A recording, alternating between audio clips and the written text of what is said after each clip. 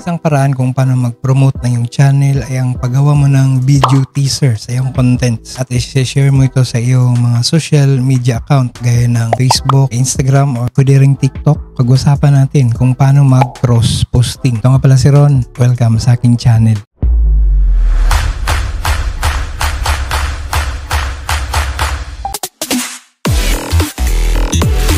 Normally, kung baguhan ka pa lang sa paggawa ng content ay nahihirapan ka pang makahanap ng potential subscribers or viewers sa iyong channel. Kaya subukan mong mag-cross-posting gamit ang iyong mga social media account. Ayan, so dito tayo sa PC, no? Ang gagawin natin dito is kunin natin yung video na na-upload na sa ating channel at i-edit natin siya ulit ng pa-square type or yung 1 uh, 1 is to 1 na format. And so yung ginagamit kong editor is Filmora. Then pwede din to kahit sa KineMaster or CapCut. And so ganyan na format no is square type Then, lagyan lang natin ng short details at kukunin nyo lang yung mga important na clips sa inyong video para naman maging panapanabik yung nagawa mong teaser para may maabangan talaga sila. And so, as you can see, maglagay ako ng channel name sa itaas at konting layers naman sa gitna ng uh, video. So, ayan. Para siyang invitation na panoorin yung video mo.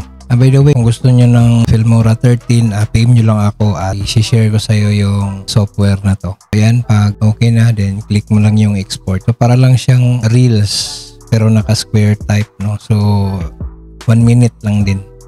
Then, pagkatapos ma-export, uh, ready ka nang mag uh, cross-posting sa iyong FB page or FB profile. Bakit mo ba to gagawin? Sa panahon ngayon, alam naman natin na karamihan na sa atin ay may mga social media accounts na gaya ng FB, Instagram, or TikTok. Why not na gamitin natin to as a tool para ma-promote yung mga videos natin. So, sa video to, ang gagamitin ko ay yung FB page ko. Sa FB kasi madali lang mag-promote ng mga videos. Available na ang ating merch sa channel no. So may mga bago tayong design dyan. Check nyo lang yung shop dyan sa baba at uh, pwede ka rin mag uh, super thanks dito sa video to or dito sa aking channel para mas uh, makagawa pa tayo ng video na katulad nito. Proceed tayo sa video.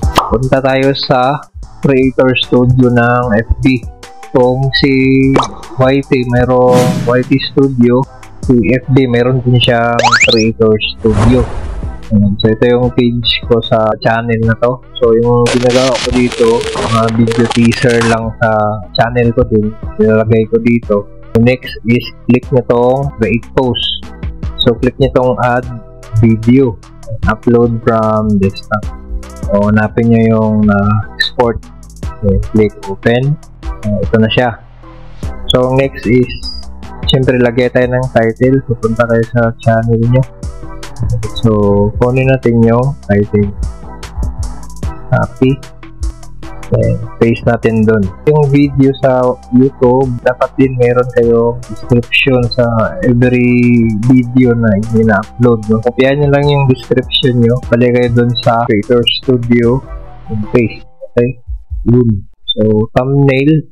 Then, click next. Next ulit. Then, share. Then click done. So as a result, or upload, or meron kang gustong i-delete na portion sa iyong video, uh, tuturo ko sa iyo step by step. Ito po si Ron at welcome sa aking channel.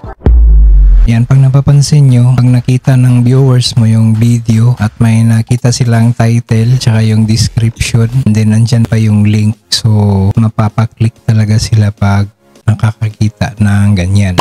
Yun o, salamat at umabot ka dito sa dulo ng video no. Uh, huwag kalimutang mag like, comment, and share mo tong video. As always, stay genuine.